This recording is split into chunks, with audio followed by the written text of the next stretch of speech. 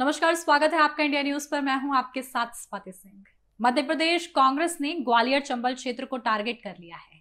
Party विधानसभा चुनाव 2023 में भी 2018 जैसे कृतिमान को कायम रखना चाहती है। साल 2018 में यहाँ के आठ जिलों की कुल 34 सीटों में से 26 कांग्रेस ने जीती थी, जबकि बीजेपी को सात और बहुजन समाज पार्टी को एक सीट मिली थी।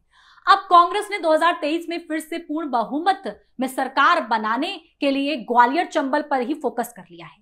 यही कारण है कि केंद्रीय हाईकमान ने शिव भाटिया को मध्य प्रदेश में कांग्रेस सह प्रभारी और ग्वालियर चंबल का प्रभारी बनाकर भेजा है।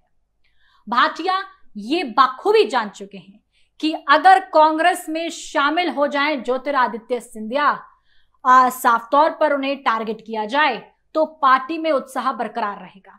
कांग्रेस के सह प्रभारी और ग्वालियर संभाग के चुनाव प्रभारी शिव भाटिया, इन दिनों केंद्रीय मंत्री ज्योतिरादित्य सिंधिया और उनके समर्थक विधायकों पर हमलावर दिख रहे हैं। हाल ही में उनका बयान आया, जिसमें शिव भाटिया ने कहा कि ज्योतिरादित्य सिंधिया 50 साल तक चुनाव नहीं जीत पाएँगे। चाहे कुछ कर ले। उन्होंने कहा कि बीजेपी में उनकी जो स्थिति हुई है, वह तो वही जानते हैं। आपको बता दें कि 22 अप्रैल 2023 को ही कांग्रेस के राष्ट्रीय सचिव शिव भाटिया को कांग्रेस हाईकमान ने मध्य प्रदेश का सह प्रभारी बनाया। उन्हें मुख्य रूप से ग्वालियर चंबल के चुनाव के प्रबंधन की कमान सौंपी गई। वे ग्वालियर संभाग के चुनाव प्रभारी हैं। यही कारण है कि आए दिन वे इसी क्षेत्र में कमान संभालते हुए नज़र आ रहे हैं। ये साफ़ तौर पर बयां कर दिया गया है, जहाँ पर आपको बता दें कि 11 जून 2023 को शिव भाटिया ने ज्योतिरादित्य सिंधिया को चिंदी चोर महाराज कहकर सनसनी मचा रखी थी। भाटिया ने सिंधिया समर्थक विधायक मंत्रियों को जयचंद और मीर ज़फ़र बताया था। उन्होंने कहा था कि आज समय आ गया है कि उन जयचंदो और मीर जफरों को सबक सिखाने का। राजनीतिक हत्या करनी है।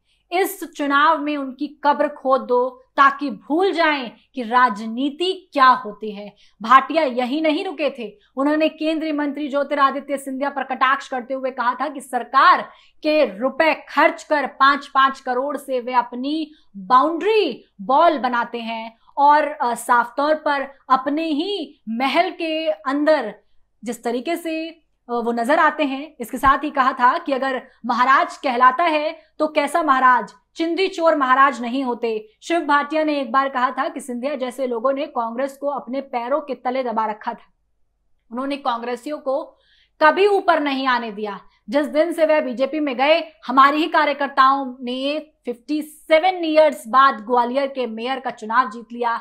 मुरैना में भी कांग्रेस ने मेयर चुनाव जीता, जहाँ कांग्रेस ने 11 कॉर्पोरेटर थे और उनके जाने के बाद 26 हो गए। ऐसे में सिंधिया पर लगातार हमलावर होना और साफ़ तौर पर सिंधिया को टारगेट करते हुए पार्टी का मनोबल बढ़ाना और ये बताना कि सिंधिया गए हैं, इसका मतलब ये है कि आप साफ़ तौर पर पार्टी किस तरीके से उभरी है और आप पार्टी के कार्यकर्ता के तौर पर लगे रहिए और पार्टी के नैया पार लगाते रहिए। ऐसे में इस पर आपकी क्या राय है? इसका कितना असर चुनाव पर पड़ेगा? क्या सिंधिया के लिए कटाक्ष करना, सिंधिया के लिए इस तरीके के बयान देना, क्या ये कांग्रेस के लिए एक मोटिवेशन का काम करेगा? तमाम अपडेट के लिए आप हमारे साथ बने रहें, देखते रहें इंडिया न्यूज़। धन्यवाद।